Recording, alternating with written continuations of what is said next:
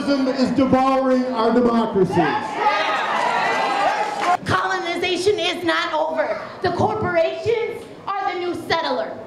We've got to fight the crypto-fascist in the White House too.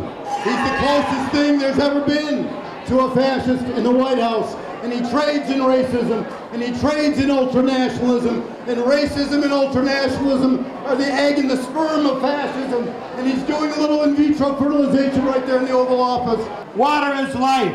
Water is life. No more fossil fuel facilities. No more fossil. I don't hear you.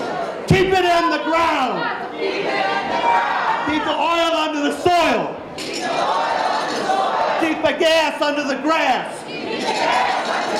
Keep the coal in the hole. System change. Not climate change. Renewable energy. Sustainable life. Peace and love. We are the raging, raging grannies. We don't hide